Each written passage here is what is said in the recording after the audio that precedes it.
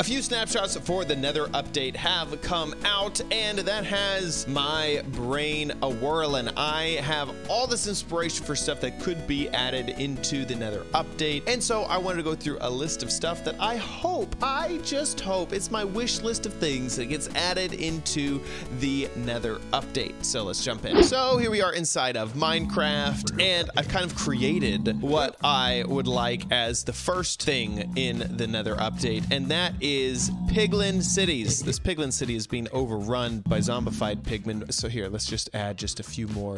There we go. Boop, boop, boop, boop, boop. There we go. It's a whole city. It's a whole little environment here. So let's walk through what some of the things that I would hope to be in the city are. Obviously, homes that uh, the piglins live in. Maybe they live in more of like a shack-like environment. Maybe they're not super civilized. They have civilization, but they're not like they're more bar barbarian, which the barter system kind of implies. And so maybe they're in these like little lean-to type of situation. Also, I would imagine that they would have some type of walls to their city. So I've made some sort of derelict walls, one here and one over here. Maybe this is fully encompassing the city to make sure that outsiders don't get in. They tend to not like and trust other people. So walls to their city would make a lot of sense. And of course, they are gold obsessed. So some monuments to the gold that they have collected would definitely be around the city. I have one sort of stockpile over here and more of a fancy monument that I've made right here. This would mean that it would actually be worth it for the players to go into these areas that have lots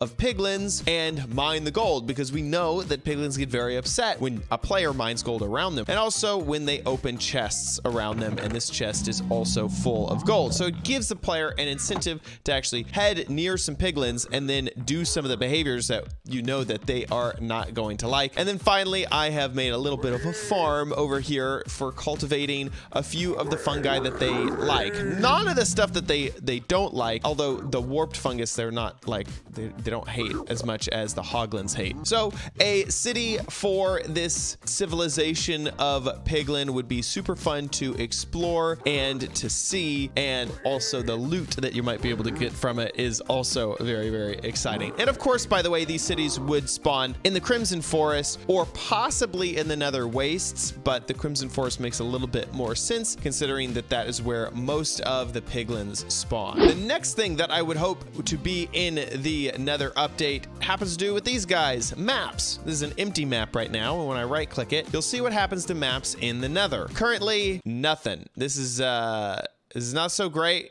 What's? I'm trying to move so that I could there we go. Okay. You also see that the pointer points in random directions all the time, just like the compass does. But this map is useless to me. Absolutely useless. So I wish that maps would become useful in the Nether update. There's a few things that would have to happen for this to be implemented. One, your, your map would have to take a slice of the Nether from where you are standing, because obviously we know that the Nether has a ceiling. We know that the nether is very three-dimensional. So it would ha basically have to be where you're standing at that moment or you know give or take a few things and be able to map out where that is whenever maybe you generated the map for the first time. Also the fact that you have no idea which way you are pointing that would also have to get changed because map really isn't all that useful if uh, you don't know where you're pointing. Now this whole idea of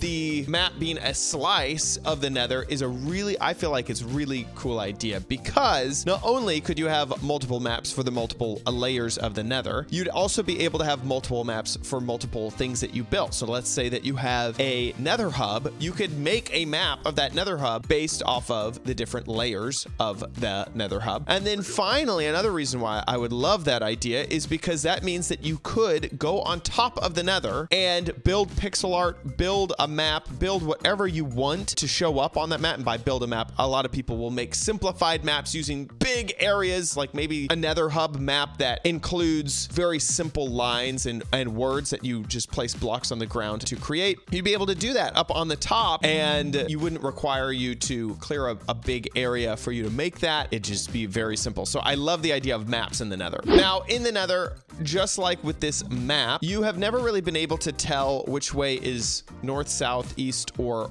west. If you have a compass, it will randomly point, and you can actually see it kind of mimics the map guy up there, but the compass will randomly point in whatever direction. There is no north or south in the nether, which is funny because the real compass in the overworld doesn't point north or south. It actually just points to your spawn point. So I feel like adding functionality back to the compass would A, fix this map problem, and B, would be really, really nice. What if the compass pointed to the portal that you came out of last? That would make the compass an incredibly powerful tool in the nether. If you get lost and need to get back to your portal, you do know that you could use the crafting recipe for a compass, and then you'd be able to go back to your portal and get home to safety. I feel like the compass could be very, very, very powerful. So I feel like that should be implemented into the Nether update. Next feature that I would love to see in the Nether update is to do with water buckets. So water buckets, whenever you place them onto the ground, they don't actually place the water. They place this sort of steam particle effect instead. And please calm down, my friend. I'm trying to record a video.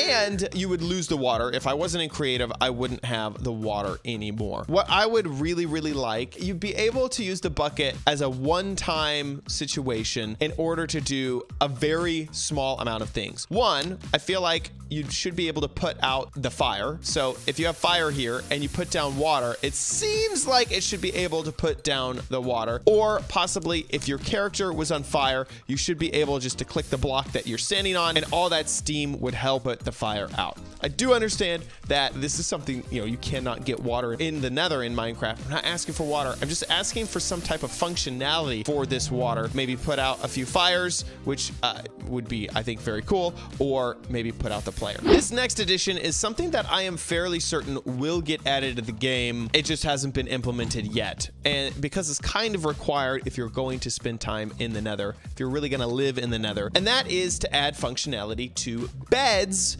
so that you could actually use a bed in the nether. Currently, if you try to sleep on a bed, it will explode in a massive explosion causing fire as well. We do not want that. That is not what we want. I feel like the player should have a possibility to set their spawn in the nether so that when they respawn, they will respawn in the nether. I think that that would be really, really cool. It would also mean that beds don't explode, which is a really weird sort of thing. So I wish that maybe even in the end, maybe you could sleep and live in the end. That would be great as well.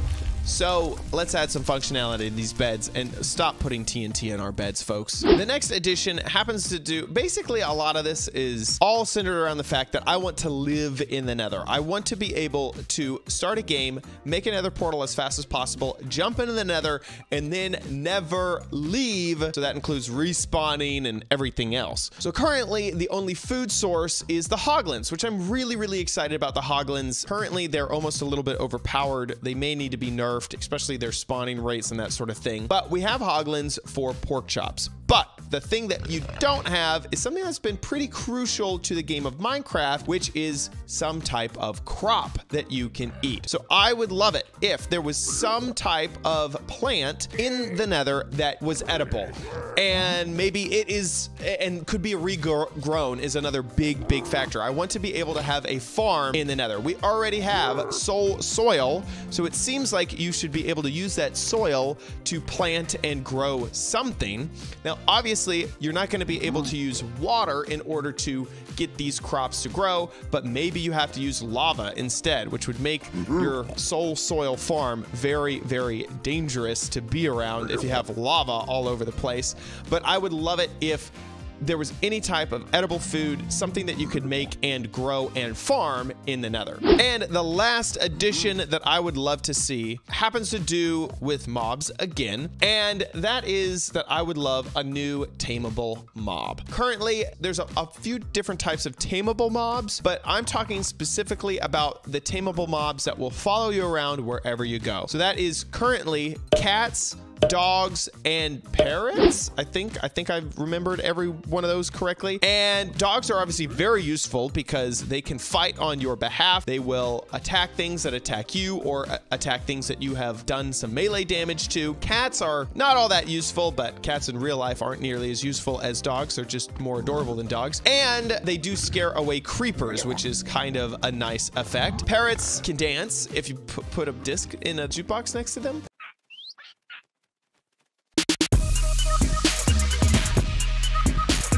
But I would love a new type of mm. tameable animal that follows you around it would be really awesome if that was something like the hoglin or something like that a new animal. Not i don't really need i don't need a python or some you know some type of animal that already exists in the world. I'd be perfectly happy if it was a brand new type of animal. Like you know hoglins don't really exist. They're sort of like hogs but not really. And also i have another interesting idea to that would be that you could the big thing that would be able to be done with this type of animal is you could equip things to it. So let's say you equip a shulker box to this animal. Now it becomes a lot like Chester from Don't Starve, and it could be a moving inventory. Or maybe you could equip a sword or a bow or, you know, an axe, and it would be able to do the things that, you know, it would have with it. Another, like, another idea is maybe this animal, maybe this tameable animal is a baby hoglin, and the moment it grows up, it realizes it doesn't trust you anymore, and it won't do these things. So you have a hoglin that is a baby,